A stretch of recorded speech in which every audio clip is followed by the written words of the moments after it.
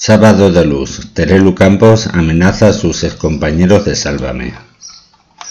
Terelu Campos se ha convertido en la protagonista de Sálvame de Luz, sin ser colaboradora del programa. No hay duda de que la colaboradora Terelu Campos se ha convertido en una de las protagonistas de la prensa del corazón, y así se ha reflejado en Sábado de Luz. Sin comerlo ni beberlo, la hija de María Teresa Campos ha sido el tema principal del programa durante toda la semana.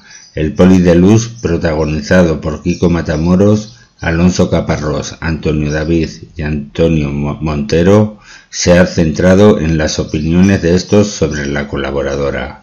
La información que se dio en Telecinco sobre los insultos de Alejandra Rubio y Lidia Lozano ha sacudido a la prensa del corazón.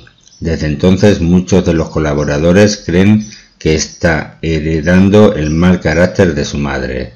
Sus excompañeros se dedicaron la tarde del jueves a criticar su mala actitud. Elitista, clasista, soberbia y pelota con, son algunos de los calificativos que recibió la ex colaboradora de Salvame.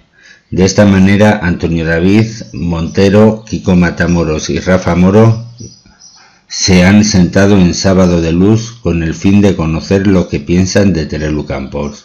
En el Poli de Luz hemos podido conocer que sus compañeros como Kiko Matamoros le ven como un juguete roto de la televisión. Por su parte, Antonio David la califica de anticuada.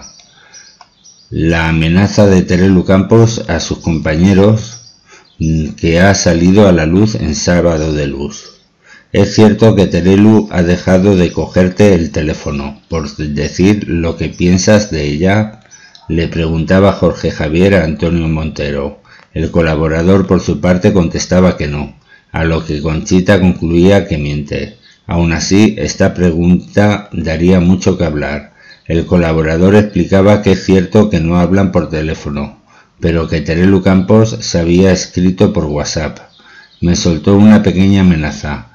Me dijo que no veía el programa, pero que lo que ve quien lo tiene que ver, haciendo referencia a su abogado, explicaba el colaborador. Esta es la noticia, coméntala, suscríbete al canal y muchas gracias por estar ahí.